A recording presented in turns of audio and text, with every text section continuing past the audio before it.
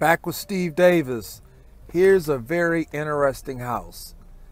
We're doing a drive-by, a legal drive-by. Here's a house that I purchased. I call it a trifecta.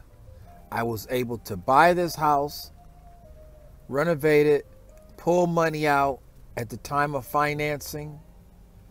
I was able to make money every month as far as rents. And then I was able to sell that property and make a profit. I call it my trifecta. And that's something you can do with real estate.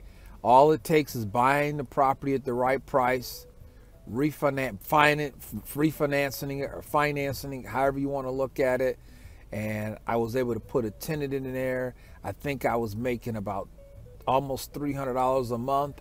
And then I was able to sell it about five or six years later and made a nice profit. It's called a win win win. That's real estate. Signing off.